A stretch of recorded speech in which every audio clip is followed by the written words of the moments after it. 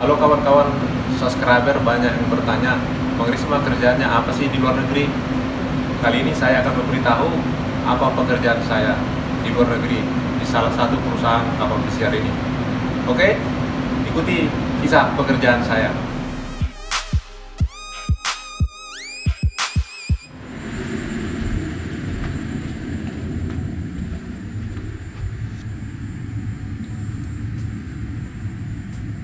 Kita akan memasuki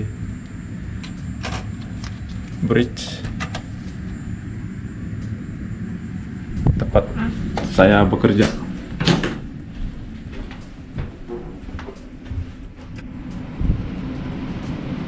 Ini adalah pemandangan tempat saya bekerja. Ini officer Rick.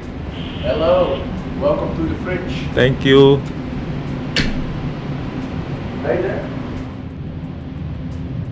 Jadi ini adalah wing sebelah kiri ya atau port side wing.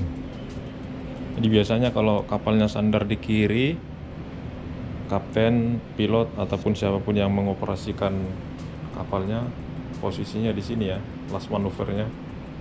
Ini kita lihat. Jadi ini ada kaca tembus pandang. Fungsinya untuk melihat tali ke bawah. Bisa dikontrol dari sini dilihat. Terus ini ada propulsion indicator nih ya atau propellernya. Terus ini RPM-nya, ini megawattnya. Jadi karena sekarang kondisi mesinnya tidak hidup, jadi dia netral ya normal. Nah, di sini juga ada radarnya ya, data pilot. Oke, ini ada heading, terus uh, speednya over the ground, terus ada kurennya ataupun alunnya dari bawah air. Sini ada juga propulsion indicator. Nah, ini buat engine-nya ada empat engine ya. DG3, DG4, DG2 sama DG1. Ini ada juga di sini kita bisa melihat di radarnya kalau ada kapal di sekitar kita kita bisa melihat kalau kita lihat di sini seperti nih celebrity edge kalau kursornya kita taruh di sini dia itu udah ada nah, ada semua itunya tuh informasi ya posisi.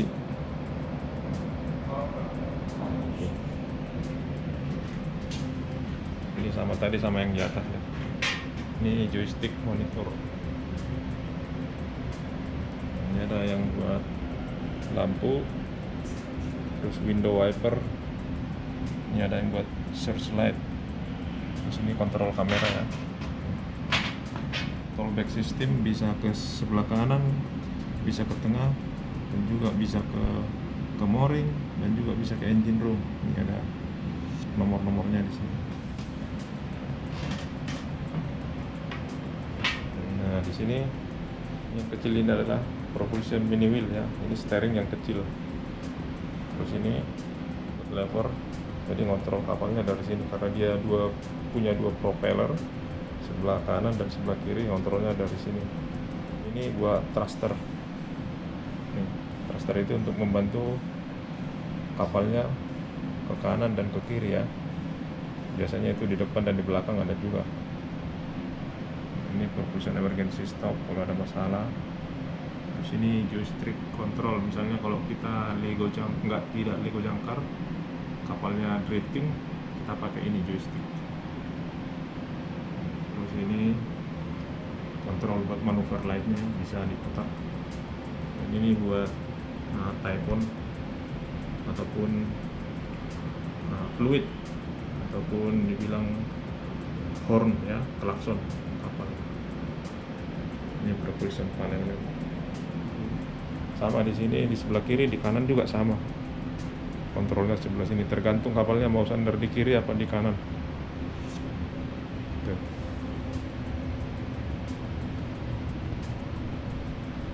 Sekarang saya berada di bridge tengah ataupun bridge center. Ya saya akan memperlihatkan apa saja yang ada di sini dan siapa saja yang biasanya kalau kapal berangkat dan kapal sandar yang duduk di sini.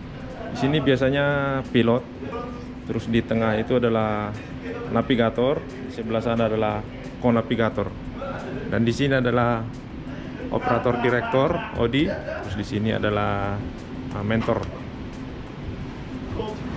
Oke, kali ini saya akan memperlihatkan di mana posisi saya sebagai jurumudi kalau kapal mau sandar ataupun mau berangkat. Oke?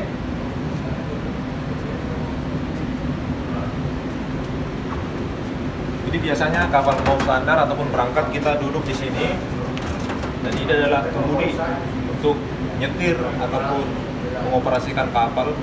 Misalnya kita itu diorder oleh navigator, kita akan memutar radar ataupun setir ke kiri ataupun ke kanan tergantung dari orderan navigator. Jadi jangan dikira setirnya segede itu ya. Ini setir buat nyupir kapal kalau saat manual. Otomatik di laut. Dia pakai ini aja deh, ini kiri atau kanan. Nih. Di setiap radar dia punya di sini sebelah sana dan juga navigator, konavigator dan juga pilot. Tapi biasanya yang ngambil senternya ataupun posisinya di navigator ya. Jadi yang mengoperasikan biasanya di kursinya navigator di sana itu. Jadi ini yang mengoperasikan kalau posisi otomatis. Kecil kan? Percaya atau tidak? Nah, ini buktinya ini. Jadi starboard side wing ataupun bridge wing sebelah kanan sama aja ya sama seperti yang sebelah kiri dan juga peralatannya sama aja apa yang ada di sebelah kiri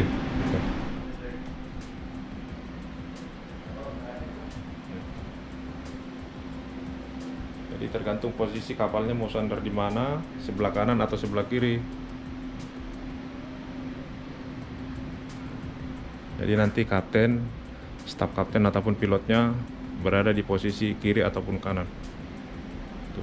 Nah, terus ini adalah bendera-bendera negara-negara yang kita tuju ya. Nah, semua ada di sini. Jadi nanti di negara mana kita sandar benderanya kita persiapkan untuk dinaikin sama sailornya. Jadi ini adalah safety center ya. Jadi di sini biasanya kalau kita ada drill, drill buat kru, biasanya di sini. Itunya ataupun kalau ada alarm di beberapa cabin ataupun tempat-tempat lain di sini bisa kita lihat ya ini adalah touchscreen. Dan di sana juga. Tuh ini namanya safety console ataupun safety center jadi semua alarm yang ada di kapal bisa dilihat dari sini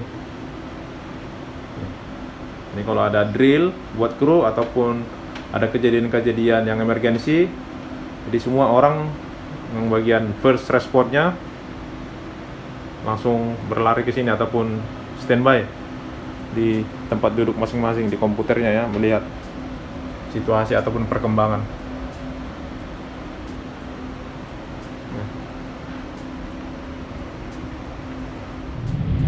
Jadi seperti kita lihat di sini ada sedikit informasi pilot card and wheelhouse posternya ya, informasi mengenai kapalnya. Jadi GT-nya atau gross tonnage-nya 99.902 ton. Ya. Terus panjangnya atau length overall itu itu 299 meter 79 terus lebarnya 35 nah,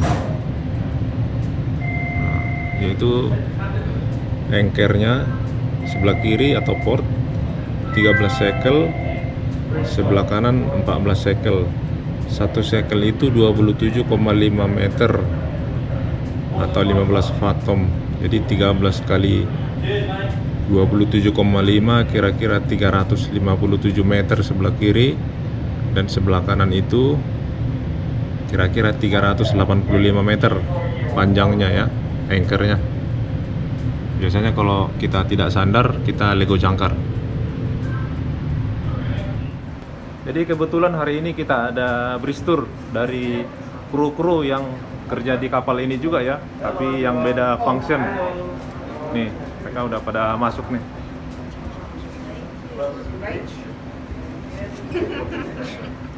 YouTuber, YouTuber. You're welcome.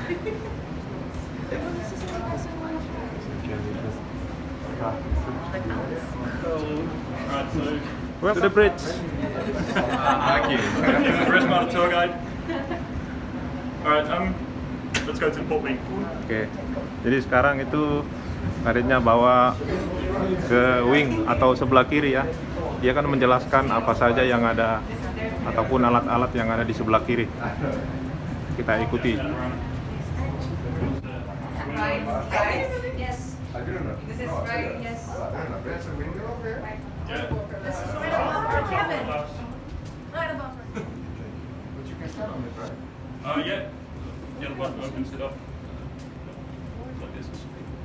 All right. Um, so this panel is a, a replica of the center console. So from here we can actually see the ship. We use this when we do maneuvering alongside. So when we leave for port. Um, ships then usually control with these two uh, pods. So for example, the aspects really. Um, but usually we're at sea to pilot. Got the nice big tiers and the sofas for that, for the whole pilot mode.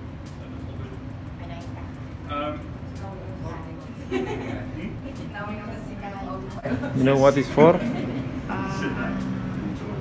I think How far you've you got radar are? No. What? uh, If you see something like that's the ship, you know that one. Ah, So you put there and see from here, position of the asphalt. see the number, yeah, and a it number. lets you correct the Yeah, what bearing of the ship that was. So you can tell the officer we can plot. brilliant. Okay, you Which- can bearing that one? the Yeah. shape. So Oh, okay. It's usually the captain. Pilot comes on board, of course. So pilot knows the the, the the back of hand. So he says, Ya sekarang lagi kebetulan dia lagi menjelasin yes. Cap- apa saja fungsi-fungsi alat-alat yang ada di situ ya. Uh, then the pilot decides. Uh, yeah, and then there's always incentive. Jadi sekarang menuju ke tengah ataupun ke center.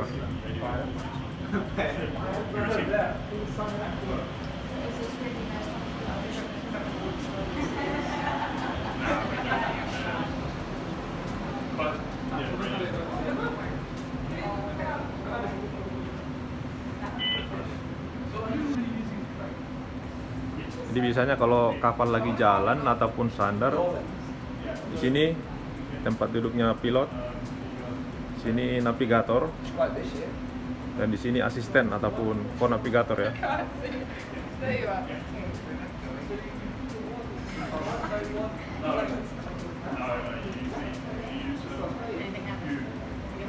Marci, he's now the officer on the watch on the bridge.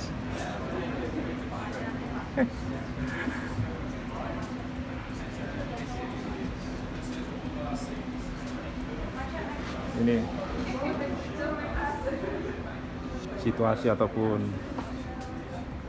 kondisi di bridge. Kita lagi sandar di Nassau, Bahamas ya. Tuh pemandangan dari luar.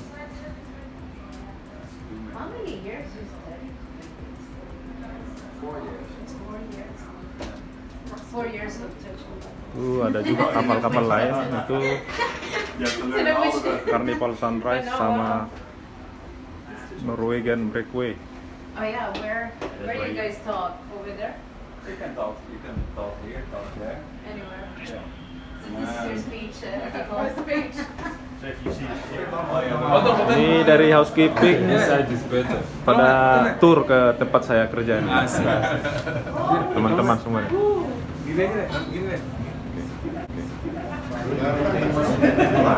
Jadi di tempat saya bekerja ini dari uh, Tamarin. Kamarin berkunjung untuk melihat-lihat bridge. Ini dengan Mbak Santi. Santi. Elvi. Ini kan ini dari Filipina nih. Ini dari kopi. Serasa jadi kapten. Yeah, it's like 99. Kamu namanya nggak bisa. So it's then okay. Purely moving is this kind of Yeah, so this, Oke. this is it. This, Mas lihat apa mas? Ada target nggak? Target nggak ada kayaknya. Adanya ini. Itu dia lagi melihat pakai pedikular atau teropong. Bisa melihat jarak jauh tuh. Sekitar 24 km.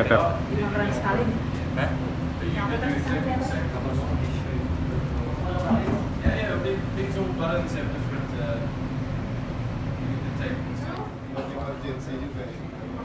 Jadi kita lihat mereka di sini mau merasakan gelas bottom.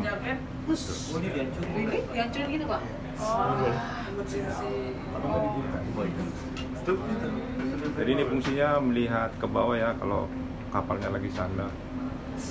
Biar dilihat talinya situasi.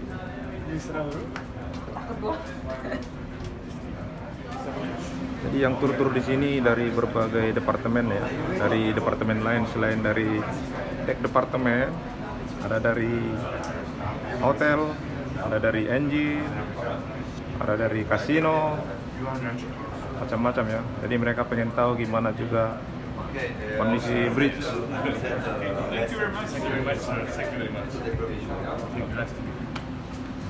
Thank you very much. Thank you very much. sir. Thank you very much. Nice to meet you. I'm looking for the bridge wing as well. Ah, itulah tadi akhir dari tour yang ada di bridge.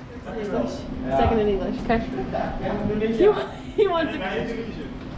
And then Indonesian. Just look at me, wave, say hello, and then start saying thank you. easy to drive the ship, I think. Thank you. Thank you everybody. Was amazing. Jadi ini juru mudinya semua pada kumpul di bridge.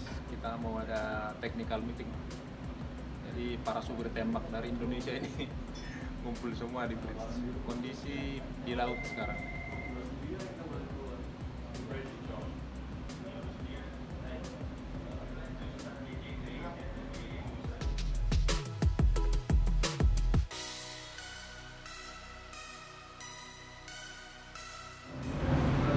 Kalau kapal kondisi di laut kerjaan kita itu lookout ya, Nah, melihat ada kapal ikan atau ada ikan paus, pokoknya kalau ada apa aja yang ada di laut itu kita report sama officer yang. Jadi kadang itu bisa kita deteksi di radar juga. Jadi kita kerjanya ya mereport apa yang kita lihat. Itu kita kalau di laut lookout ya, kalau selain menyupir